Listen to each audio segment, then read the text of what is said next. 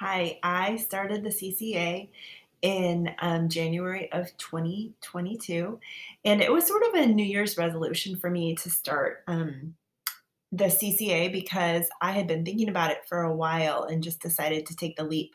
Um, and I had kind of an external motivator, which for anyone out there who's hesitant and you need a little boost, I think it's okay to say, Hey, I'm doing this because.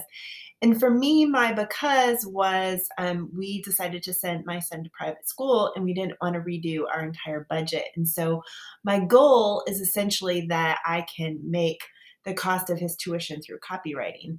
And um, not only is it helping to do that, but it's been really, truly very fun um, to be able to help clients. I um, specialize in um, pediatric health care and special education clients because one of my kids um, has some severe medical needs. And so I feel like I've been learning as I have been researching clients and really growing um, through that experience. Um, I think that what I would say to others out there too is that you have to think about the long game and that there are highs and lows. And when it's low, you just have to keep putting one foot in front of the other, keep pitching, um, keep putting yourself out there, and just looking for those people who need your work because they're there.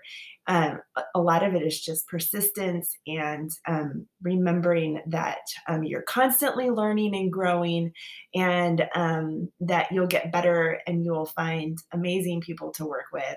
Um, so it's been a great journey so far.